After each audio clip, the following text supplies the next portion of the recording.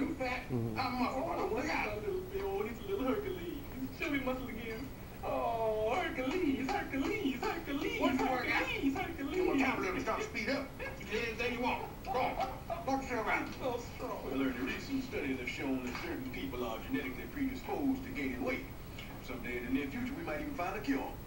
Only you need to study your ass. I got a big ass. Your mama got a big ass. You do have a big ass. Don't tell me nothing. All the people got a big ass in our family, so you need to, you need to get used to that. You don't care what you die, you go on. You can go up, up your ass in your mouth. Oh, it's gonna be fast. Scientific breakthroughs are occurring all the time.